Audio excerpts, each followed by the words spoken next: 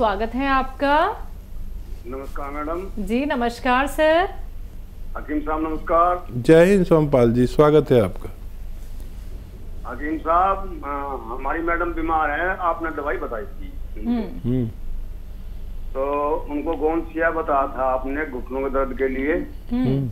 और शुगर के लिए बताया था आपने जामुन का गोंद। हम्म।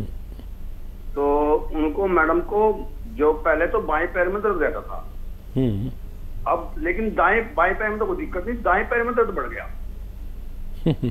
ठीक है। दाएँ पैर में दर्द बढ़ गया और उनको कब्ज भी आने लगा। ठीक है ठीक है। और एक डॉक्टर साहब वो वीकनेस बहुत कमज़ोरी बहुत महसूस करती है। ठीक है अच्छा दवाई में उनकी इंग्लिश दवाई भी चल रही है डॉक्टर साहब वो शुगर की। इंसुलिन लेती है एक टाइम पर। हम्म हम्म। लेकिन उसके बावजूद उनको 300 तीन सौ पौने तीन सौ लगभग ये रहता है सुबह।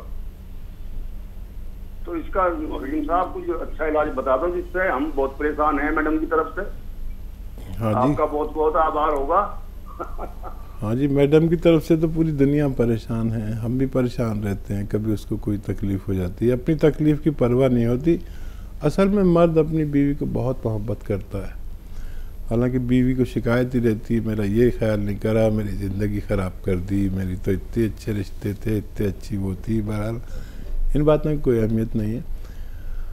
हाँ देखिए, ये जो गौंसिया इन्होंने खाया है, वो एक एक टांग का चला गया, दूसरी टांग में शुरू हो गया, ऐसा होता है।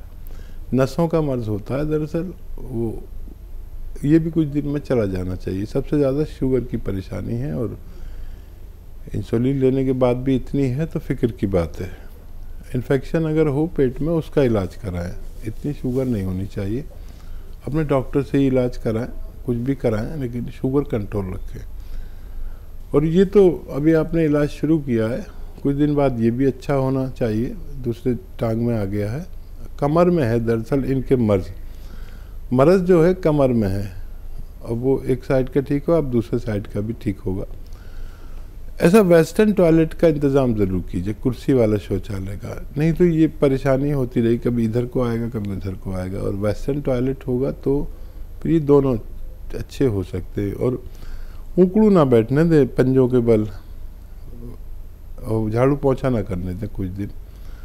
और जो भी मुमकिन इलाज हो, जिसका भी करें, लेकिन ये सब दो बातें ज़रूर करें कि वेस्टर्न टॉयलेट और बहुत मेहनत ना करने दें ख़ास तौर पर झाड़ू पोछा।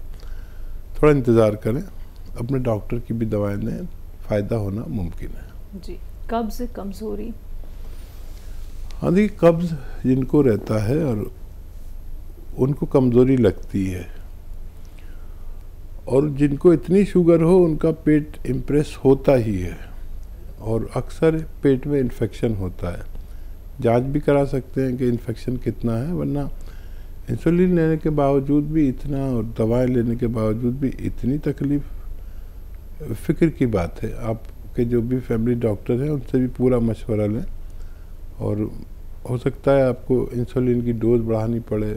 पेट के लिए बेल का मुरब्बा धो लेना, धो के खिलाना इनको, मीठा होता है। या अरंडी का तेल एक चम्मच पिलाएँ और उस पर एक गिलास गरम गरम चाय या पानी पिला दिया करें। दिन में एक बार या दो बार।